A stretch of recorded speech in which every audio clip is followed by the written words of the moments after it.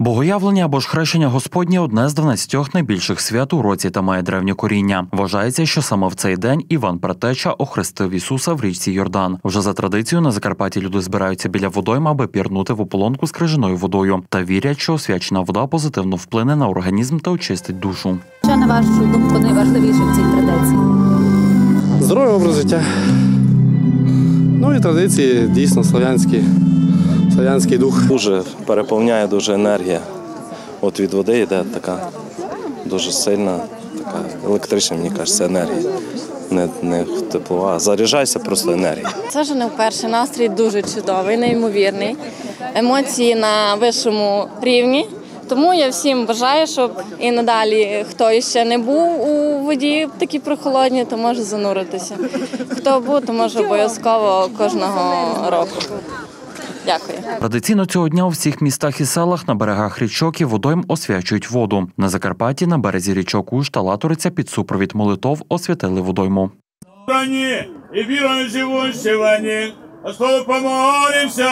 Господи помилуй.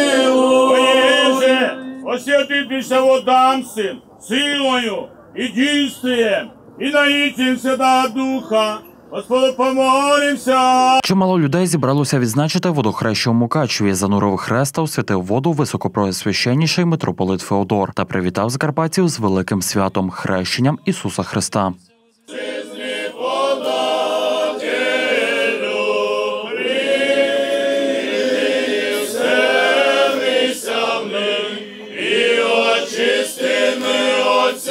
Дехто вже не вперше пірнає. Краяни розповідають, що варто лише спробувати, як це стає традицією. Чудовий настрій. Это уже перешло в традицию, потому что в этот праздник обязательно надо окунуть свое тело в это. да. Обязательно. Это уже традиция. Мы каждый год у нас семейные компании. Дочка, сваты. Вот мы сначала сами начинали, а теперь нас большой коллектив уже ходит. Третій рік поспіль. Варто тільки раз спробувати і вже затягує. П'ятий рік уже стрибаємо з товаришами у воду. Не стрибаємо, а пірнаємо. Підготовка саме треба підготувати себе. Як фізично більше чи І фізично, і морально. Мукачівці кажуть, що до пірнання готуються заздалегідь. Також привчають малечу до загартовування. Після душу ще трошки контрастний душ.